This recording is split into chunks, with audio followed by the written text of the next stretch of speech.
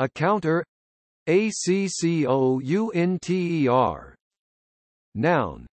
A person who accounts, reckons, or calculates.